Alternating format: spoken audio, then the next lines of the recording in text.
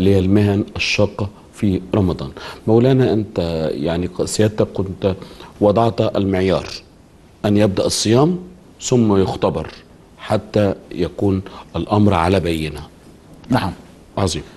هذا ما عليه الفتوى آه، يعني عندنا هنا في دار الإفتاء المصرية أن أصحاب هذه المهن آه، بينووا معانا أو مع مع المسلمين جميعا بالليل آه، إن هو صايم غدا ويبتدي صايم بالفعل. آه، فإذا ما اشتدت عليه المشقة من هذا العمل الذي يعمل فيه آه، فإنه في هذه الحالة يجوز له أن يفطر. لكن فيه أيضا آه، أمر آخر نحتاج إلى أن نبينه.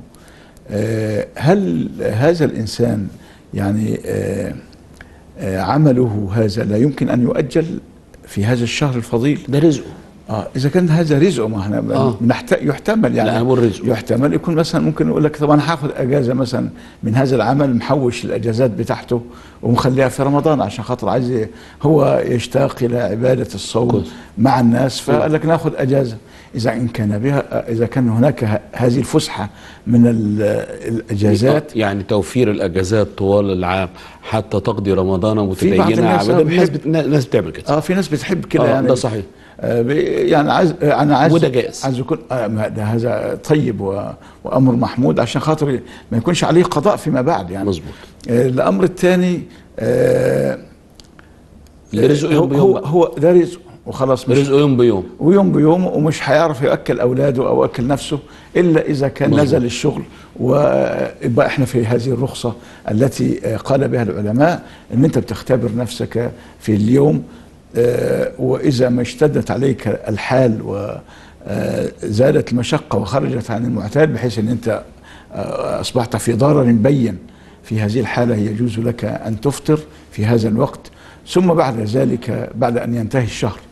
هنشوف بقى الأيام اللي أنا عملتها كم يوم أفطرت فيهم ممكن يكونوا عشرة أيام اللي أنا ما تحملتش فيهم. عليه عليهم عليهم قضاء. آه ونشوف كمان آه يعني ممكن يكون أنا تحملت كل الشهر. فالأيام التي اشتدت عليه الحال فيها ولم يستطع أن يواصل هذه الأيام يقضي آه آه هذه الأيام فيما بعد رمضان إن تيسر له. بمعنى بأن عمله في الحقيقة ما دام ان إحنا قلنا الأمر نسبي يبقى إذا قد يكون هو متحمل لهذه المشاق مثلا في الشتاء.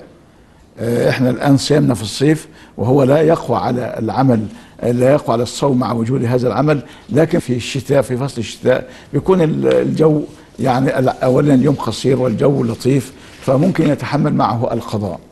آه، فيقضي في هذه الأيام. هنفترض بقى ان أنه لا يمكن القضاء هذه الأيام لوجود المشقة المضطردة. الم- والمتصل. والمتصله أي حد بيشتغل في قطاع المقاولات طول عمره. آه طول عمره. آه. خلاص يبقى في هذه الحالة آه ينتقل يعني هنخليه زي أصحاب الأعذار أو ال- الأمراض المستديمة. آه. إن هو آه الأيام التي أفطرها في نهار رمضان ولم يقوى هذه الأيام التي لم يقوى على قضائها نظرا لاتصال عمله.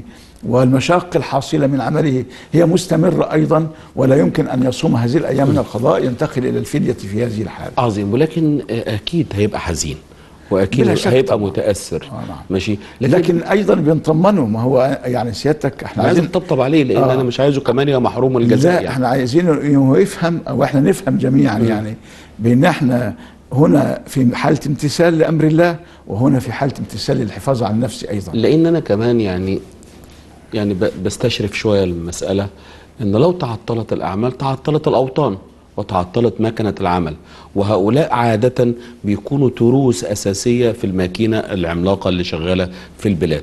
وبالتالي أعتقد إن محتاجين من يسندهم دينيا ويرفع معنوياتهم عشان يؤدوا بك- بكفاءة وصلابه نعم. ما هو إحنا اتفقنا على أن عندما ننتقل من حكم إلى حكم. يعني لو قلنا له أنت إفطر عندما يشق الأمر عليك مشقة بالغة آه، لا تتحمل هذه المشقة أو مشقة خرجت عن المعتاد عموما في مثل هذه ظروفك أنت. فأنت عندما آه، تفطر هذا لا يعني بأنك تفلتت من الدين وإنما أنت أيضا منفذ للتعاليم منفذ للدين.